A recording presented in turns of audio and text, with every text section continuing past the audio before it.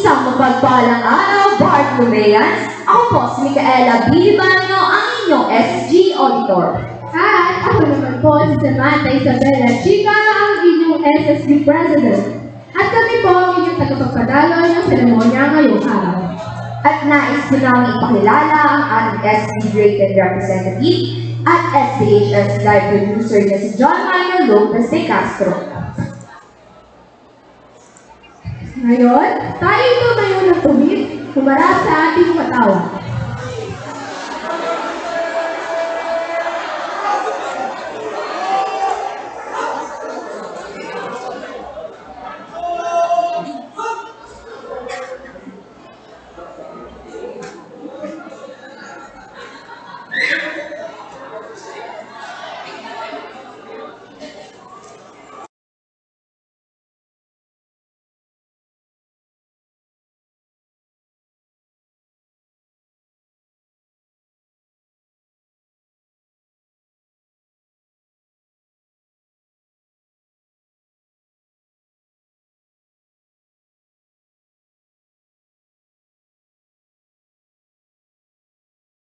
Ngayon, itaas ang ating kanang kamay at ilagay sa ating dibdib at sabay-sabay awitin ang pambansa, pambansang awit ng Pilipinas.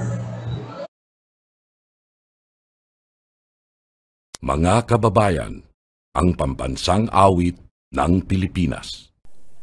Bayang magiliw, perlas na silanganan, alab ng puso, sa dibdib mo'y buhay.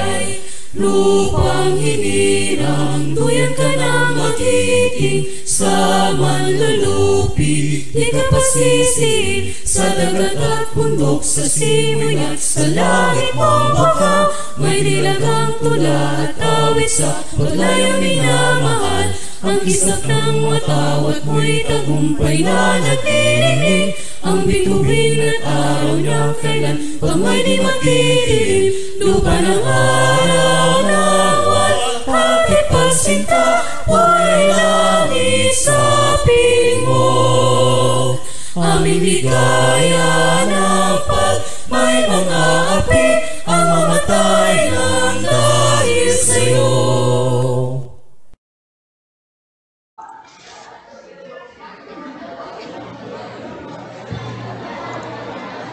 Ngayon naman, tayo ay humingi ng gabay at damhin ang presensya mula sa ating Panginoon na siyang ating pag- tagapagligtas na pangungunahan ni John Cyrus de Roma mula sa Great 10 St. Bridget.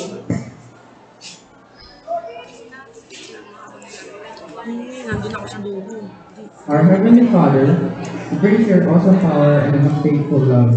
We thank you for granting our students the, the strength to learn, concentrate, and act in love towards their teachers, fellow students, and the rest of the school personnel. We praise you for giving our teachers the much needed patience and understanding is to make our students learn. For thine is the kingdom, the power, and the glory are yours. It's yours now and forever. Amen.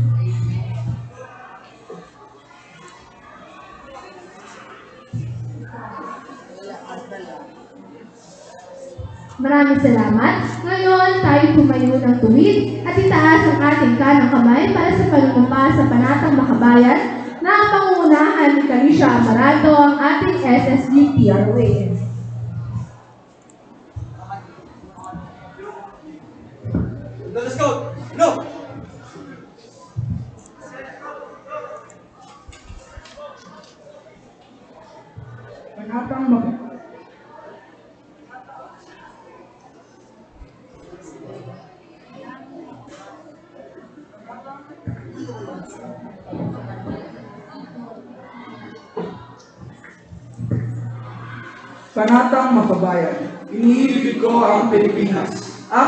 Lupang sinilangan, tahanan ng aking lahi. Tinupok ko ba ko at tinutulungan maging malakas, masipag at marangal. Dahil mahal ko ang Pilipinas, diringgin ko ang payo ng aking magulang. Susundin ko ang tungkulin ng paaralan. Tutuparin ko ang tungkulin ng mamayang makabayan, naglilingkod, nag-aaral at nagdarasal ng katapatan. Ang aking buhay, pangarap, pagsisikap sa bansang Pilipinas. Subuko! No! Maraming salamat po. Manatili po tayong tuwid at itaas muli ang ating kanang kamay para sa panunumpa sa kapapatan sa watawat ng Pilipinas na pangunguna ni Emmanuel Nisi R. Kahayon, ang ating grade 9 representative. Let's go! No! Panunumpa sa watawat ng Pilipinas. Ako ay Pilipino, buong katapatang nanunumpa sa watawat ng Pilipinas at sa bansang kanyang sinasalisan, na may damay, katarungan at kalayaan, na pinakikilos ng sambayan ng mga Diyos, makakalikasan, mga tao at mga bansa. Ibuko! No! Maraming salamat. Ngayon, sabay-sabay naman tayong manumpa sa likod bayan.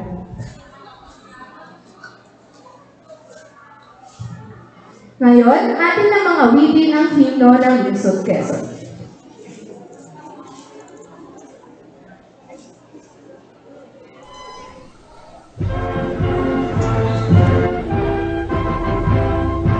Lungsod Quezon, aming mahal Araw mo ay saganang tunay Sa amin ang alab sigla kami nagpupugay Dito'y ilaw ang diwa mo. Hiyas ka ng bayang sinisinta Dito'y nukling mitiing banal. Sa'yo ang pag-ibig namin at dangal. Lungsod Quezon aming mahal Araw mo ay saganang tunay Sa amin ang alab mo'y buhay. Sa iyong sigla kami nagpupugay Lungsod Quezon aming mahal. Ugat ka ng layak kagitingan Dito'y nukling mitiing banal. Sa'yo ang pag-ibig namin at dangal. Sa'yo ang pag-ibig namin at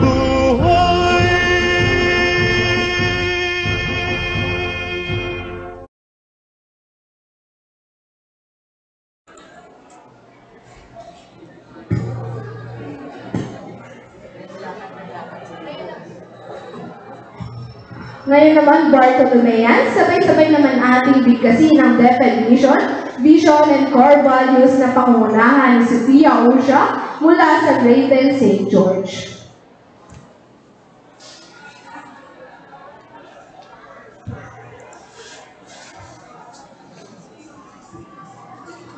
The DepEd vision. We dream of Filipinos who passionately love their country and whose values and competencies enable them to realize their full potential and contribute Minute lang sila, okay? So repeat after you.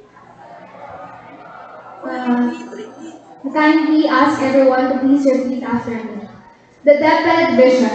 We dream of Filipinos who passionately love their country and whose values and competencies enable them to realize their full potential and contribute meaningfully to building the nation. As a learner-centered public institution, the Department of Education continuously improves itself to better serve its stakeholders. Kindly repeat after me. DepEd mission to protect and promote the right of every Filipino to equality, equitable, culture-based, and complete basic education where students learn in a child-friendly, gender-sensitive, safe, and motivating environment. Teachers facilitate learning and constantly nurture every learner.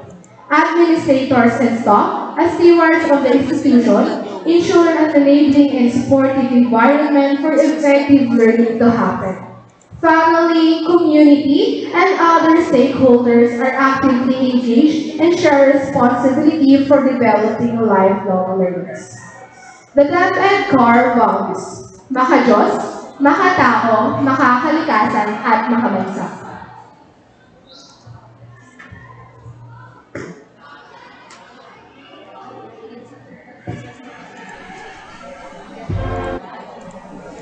Maraming salamat po. Ngayon, atin namang uwitin ang himno ng NCR.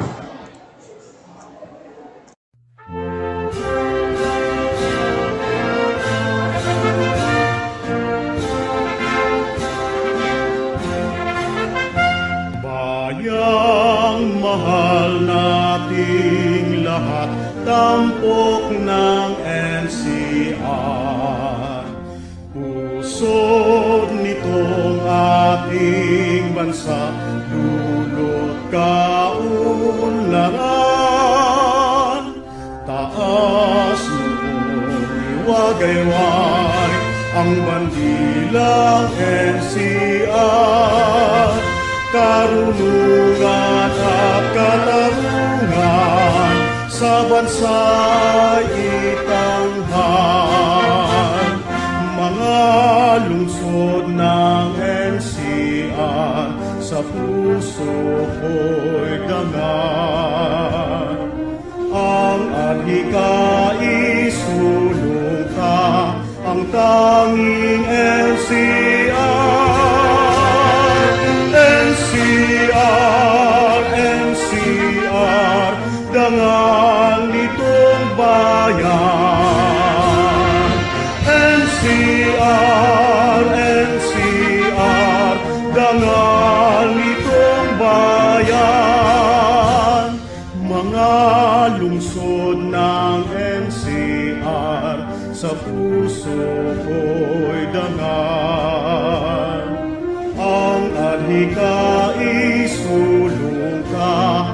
longing and see.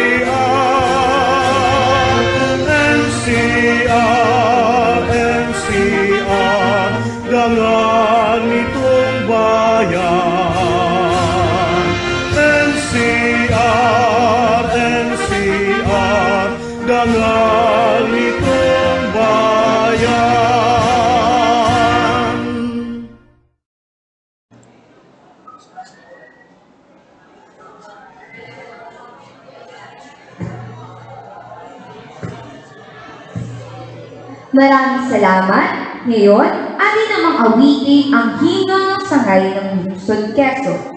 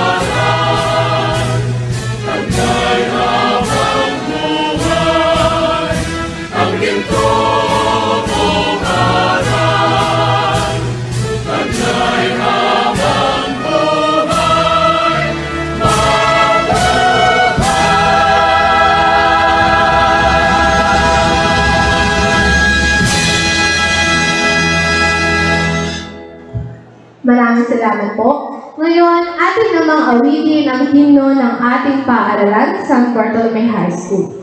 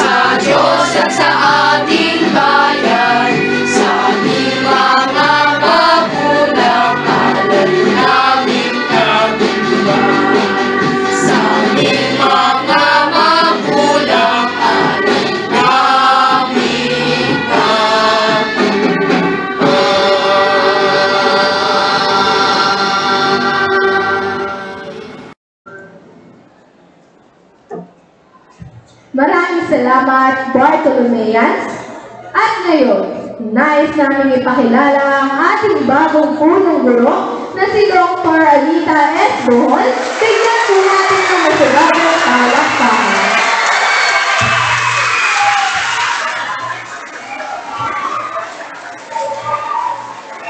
Thank you very much sa ating tagapagdaloy. Mga anak, ang palakpak ay kamay lang, hindi kasama yung bibig. Di ba? Ulitin nga palakpak lang.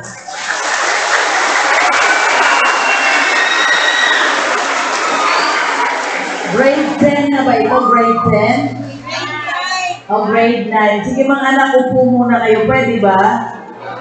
Okay, sige. Mga 5 minutes lang naman ako. Hanggang anong oras ba ang break nila? 3.40. O, kakain pa sila. Bibilisan ko. O, sige, upo muna. Grade 9, I suppose, medyo matagal-tagal na kayo nandito sa school. So, you can already distinguish between clapping and shouting.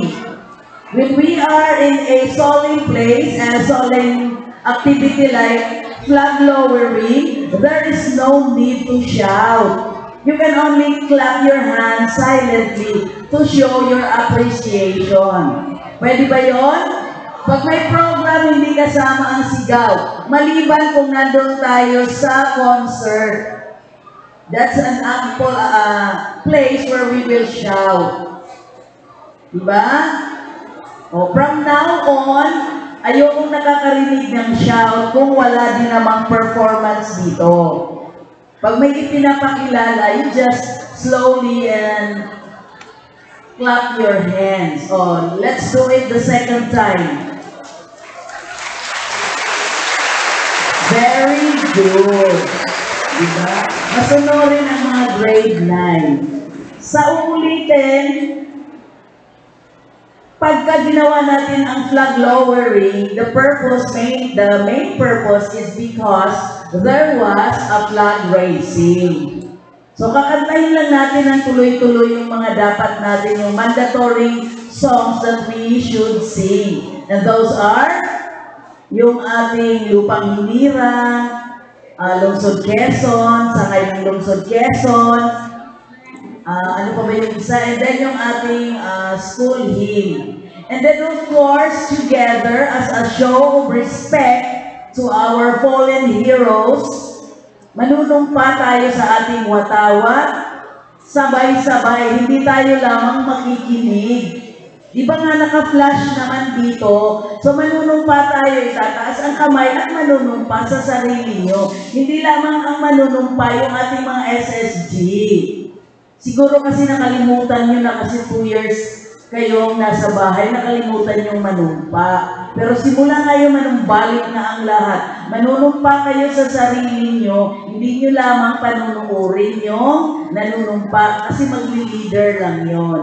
Pwede ba yon? Sa panatang mga bayan at panunumpa. Sa Japan, lahat pagka-flag lowering and flag raising, regardless of what they are doing, pag narinig na nila yon, talagang titigil sila. Tayo siguro hindi tayo naririnig ng ating mga kaklase doon kasi naglalakad lang din sila kahit kumakanta ng lupang hiniran. Huwag niyong kalimutan na lahat dapat will be suspended kung ano yung ginagawa natin. Ang gagawin na natin ay tatayo ng matuwid. Kahit hindi tayo mag-participate kasi wala naman tayo doon, our space will not accommodate us all, pero tatayo tayo at hindi tayo maglalakad. To show our respect, patriotism should be developed as early as, late na nga ito dahil grade 9 na kayo. Wala dapat maglalakad. Nanahimik muna tayo. Anyway, hindi naman ito isang oras. At any rate, ako nga pala si Ginang Anita Solano Buhol. I've been a teacher here since 1999 up to 2008. And then I became principal hanggang ngayon bumalik naman dito. Mahal na mahal ko ang eskwelahang ito. Sana mahalin din natin ito sa pagpapakita ng paggalang sa mga guro, paggalang sa bawat isa, sa pagrespeto ng mga mumunting bahagi ng ating paaralan, sa hindi pagsulat sa mga dingding, sa hindi paglagay ng mga bagay na matutulis o na ilalagay sa ating mga comfort rooms. Kasi ating itong tahanan, bigay sa atin ng ating gobyerno, bigay sa atin, it is given to us by the government, via the tax that has been remitted by our parents. So part owner kayo dito. And as such, if you are part owner, you should own it. Hindi pwedeng barahan ang mga CR. Hindi pwedeng sulatan ang mga CR. Ipapa-repair natin yun para hindi kayo magkaroon ng sakit sa bato. Pero ang inyong responsibility is to take good care of it. Dadagdagan pa natin yon kasi ang mga babae kailangan na may mahusay tayong comfort rooms. Pero, gagamitin nyo rin ito ng maayos. And the most important thing is, though our Department of Education Secretary has pronounced that uniform is not mandatory, but there are three reasons why you have to wear your uniforms. First, because it is an identity. Baka mapasok tayo ng mga outsiders. Second, it will give you, it will minimize the expenses of your parents. Dahil sa pag, paglaba ng mga maraming damit. So you're going to wear your uniform from Monday to Friday. Walang free day. Kami lang ang may free day, yung mga teachers lang. Pero kayo, you have to wear that from Monday to Friday. Third, tinuturuan namin kayo ng good grooming. Hindi pwedeng mag-Korean dito. You can wear your Korean clothes anywhere. At any rate, there are only five hours. You can wear your Korean or whatever uh, style you have prepared at home. Pero sa eskwelahan, bawal ang nakataas ang pusod, crop top, backless, kung wala kayong uniform, wala kayong pambili, susulat kami sa mga magulang nyo via resolution from our different stakeholders na kayo ay magsuot ng puti sa pantaas at itim sa pambaba. Male or female, para may identity. And you should wear your IDs at all times. Hindi pwedeng isuot lang sa bag ng bag. Libre yan, kaya libre nyo rin gamitin. Isa pang reminder, hindi pwedeng maghikaw. Sa mga gig nyo na lang yan sa labas, yung, yung inyong fashion identity sa labas. But sa school naman, sabi ko nga 5 hours lang naman, huwag mo nang isuot. Pwede ba yon mga beloved kong mga estudyante? Ah, mahina. Okay. So dito muna tayo kasi we should be decent enough. Pag nandito pa tayo sa eskwelahan. So maghikaw syempre yung mga babae.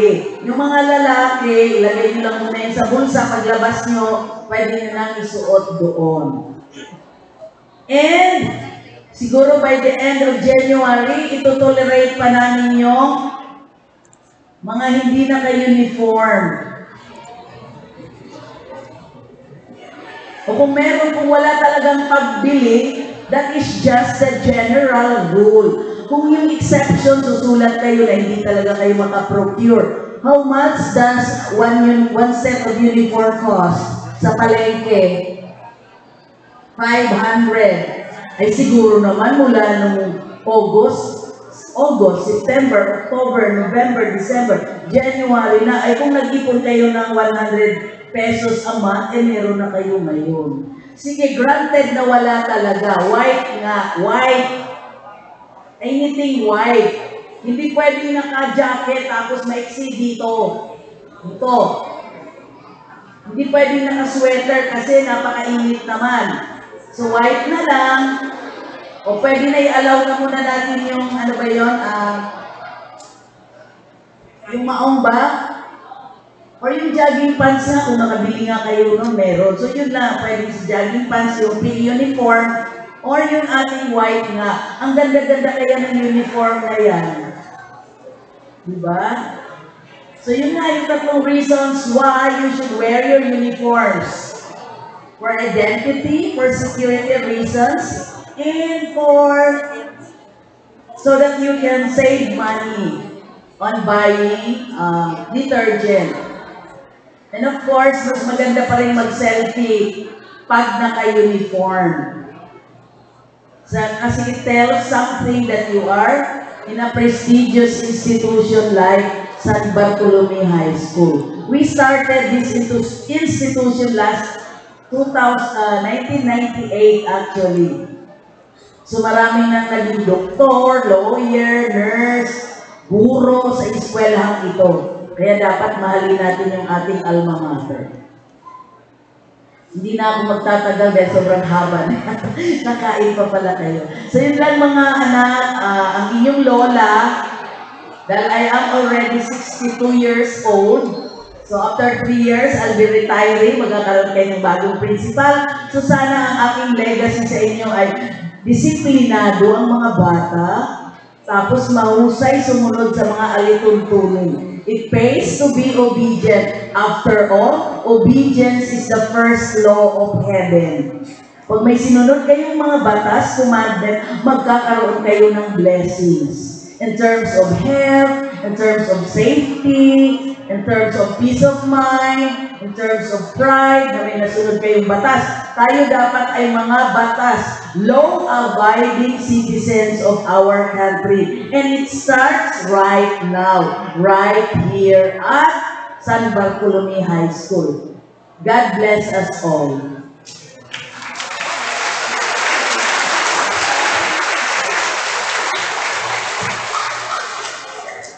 Muli, maraming salamat po sa ating bagong punong guro na si Dr. Anita S. Bohot.